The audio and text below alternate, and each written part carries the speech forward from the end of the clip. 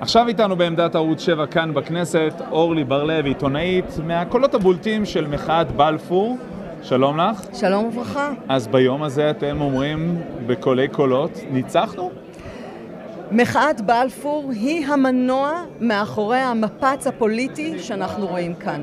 אלמלא מחאת בלפור, לגדעון סער לא הייתה את הרוח הגבית לקום ולעשות מעשה ולהציב אלטרנטיבה של ימין, ימין ממלכתי, ימין ימין, אבל ימין ממלכתי לנתניהו, שלא מנסה לרסק את כל היסודות הדמוקרטיים של ישראל. אלמלא מחאת בלפור לא היה ליל החליוני, החניונים, שבו שלושה חברי כנסת מכחול לבן בעצם הצביעו לא יחד עם כל הקואליציה ועם המהלך שניסה להוביל נתניהו וגרמו להקדמת הבחירות, יחד אגב עם מיכל שיר מהליכוד שחברה לגדעון סער, ובעצם גרמו לזה שהבחירות הוקדמו למועד שלא היה נוח לנתניהו.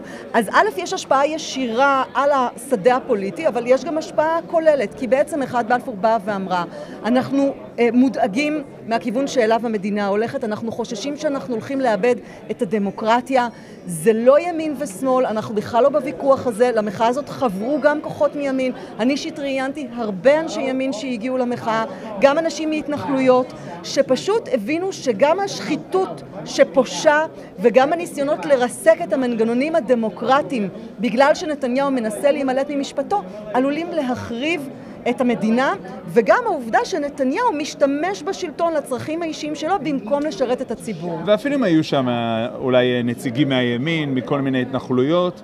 זה לא היה הרוב. בוא נגיד בדיוק, בוא ברור. נגיד שמפגיני בלפור לא חלמו שהם ממליכים את נפתלי בנט.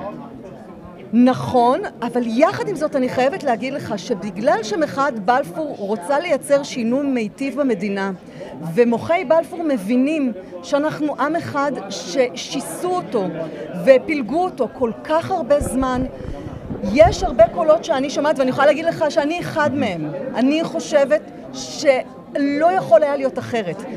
דווקא ממשלה שהיא אחדות שהיא כוללת ימין ימין ומרכז מרכז ושמאל שמאל ואפילו שיתוף של מפלגה ערבית זה העידן החדש שאנחנו חייבים לצעוד אליו כדי לרפא את עצמנו. את יודעת, כשמדברים על השיח המזדהם בימים אלו ברשתות החברתיות, אחת מהטענות שנשמעות זה ראינו את השלטים בבלפור, ראינו את הסממנים המיניים, כאלה שאפילו הוגדרו כהטרדה מינית אה, מול אשת ראש הממשלה, ובכלל סמלים ואמירות מאוד מאוד קשות.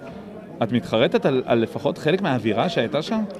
קודם כל, אני באופן אישי לא אחראית על מה שאנשים אחרים עושים, אבל זה לא היה הליבה. היו אירועים נקודתיים שבהם אנשים הרימו אולי איזה שלט, אולי איזה אה, דגל, אולי איזשהו אה, ניפוח של איזושהי בובה, זה איזוטריה. כמובן שזה זכה להבלטה על ידי מי שהיה לו אינטרס להבליט את זה כדי להשחיר את המחאה.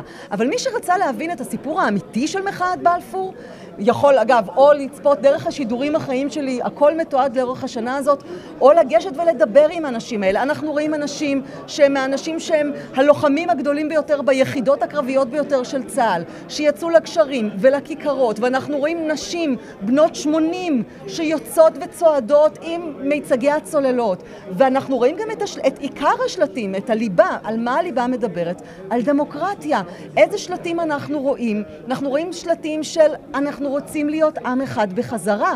אז נכון, יש כאן ביקורת נוקבת ביותר, שלא הייתה כמוה כלפי נתניהו, אבל זאת לא ביקורת על הימין. זהו, לעומת אה, רבים מכל הצדדים שבורחים מההגדרה של רק לא ביבי, אתם אומרים, זה באמת היה רק לא ביבי. זה היה הסיפור, אבל זה לא עניין של שנאה לאיש, כמו שמנסים גם לצייר את זה. זה מנומק, זה נגד תופעת הביביזם, זה נגד שקרים כדרך חיים, זה נגד שלטון שמשרת את עצמו ולא את העם, זה נגד ריסוק המנגנונים הדמוקרטיים. אני יכולה לתת לך עוד שורה? תשמע, אני חושבת שגם ימין וגם שמאל יכולים להסכים שלא יכול להיות שיהיה מצב שבו לא מעבירים תקציב בשביל אינטרס צר, פוליטי, אישי, שעוד אמור לשרת אותו כדי להימלט ממשפטו. זה בלתי תקין, זה בלתי סביר. סביב הדבר הזה, אנשים מכל הקשת יצאו.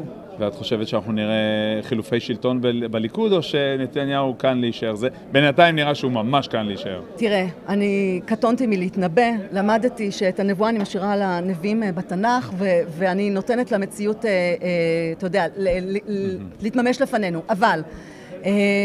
אין שום ספק שכל עוד הפוליטיקאים בקואליציה החדשה יבינו את גודל התפקיד ההיסטורי שנפל בחלקם ובאמת ובשליחות עמוקה יבינו שעכשיו מדינת ישראל זקוקה לכך שהם יחזיקו מעמד, שהם לא ייתנו לנתניהו לנסות לחבל ולטרפד במאמץ ההירואי והאמיץ שלהם.